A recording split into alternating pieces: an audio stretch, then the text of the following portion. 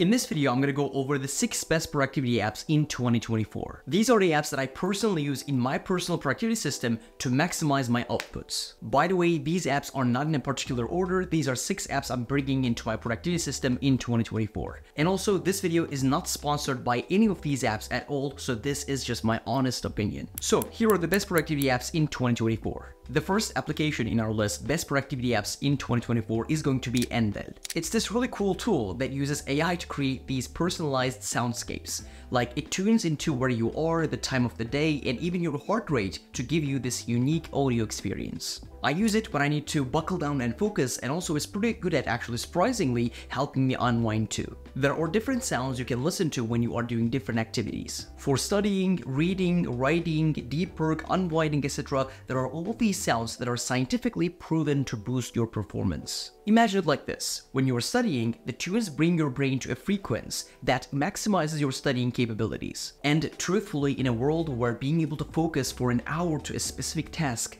is actually impossible, this is a cheat code. If this idea sounds interesting to you, as well as if you want to essentially focus for longer periods of time, I highly suggest you to check out Endel. It's gonna open up your mind to a different world. The second app on our list, best productivity apps in 2024, is going to be Notion.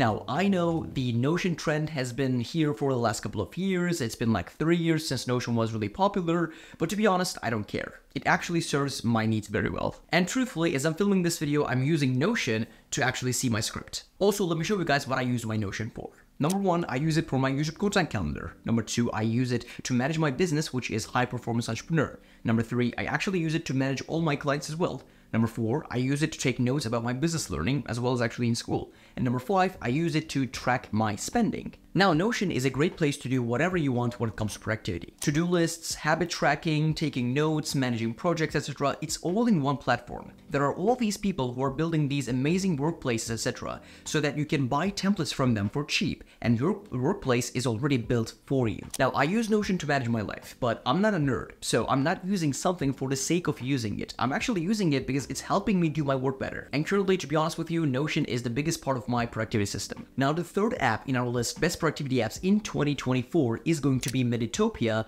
which you can guess by the name, it's a meditation app. I'm a big fan of meditation because it helps you focus better and it slowly saves your fried dopamine receptors. However, I've never really been into that like guided meditation stuff.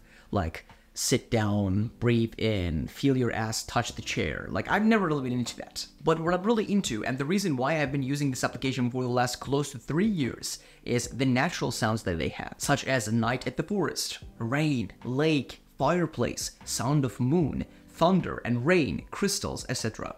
These are under the category music, and I meditate to these sounds pretty much like every single day. You can also use them when you are journaling and even when you are doing deep work. These sounds just get you from the place you are and put you into this magical land of focus. And by the way, it's not like I came across this app like two months ago. No, I've been literally using it since three years, and I've, I had like thousands of minutes of meditation in this. The fourth app on our list, best productivity apps in 2024, is going to be Toggl. Now, you might not have heard about this app at all because it's not like a very, very famous one, but I think it has has a very, very cool feature, which let me explain. You tell Toggl exactly what you are going to do, and then you start the timer. For example, editing YouTube video and then start the timer. When you finish your task, you stop the timer and tell Toggl what you're going to do next. And Toggl creates an outline for you of your day. So that you can know, number one, what are you spending your time on? And number two, uh, those times where you're telling yourself that you're working hard, but in reality, you got like three hours of work done in the day. You actually, it slaps you in the head while showing you this is exactly how much work you've gotten today. You can also see how many hours you have worked compared to the other days. So pretty much, if you only use Toggl when you're productive, it's gonna show you, for example, oh, six hours of productivity today. Six hours, three of them were like scripting, three of them were editing, let's say. And then the next day, you can put it as yourself a goal of like, yeah, today I'm gonna do six and a half, seven hours of productivity. So number one, it shows you the truth so that you cannot fool yourself. And number two, I think it makes the working, the process of working fun. Alright, the fifth app in our list, best productivity apps for 2024 is going to be Akiflow. Now, this is the first time I'm mentioning this app in this channel because it's actually pretty newer for me as well. Here's what I use Akiflow for. Because of the fact that I use so many different applications at the same time, I have all these tasks that come from different places.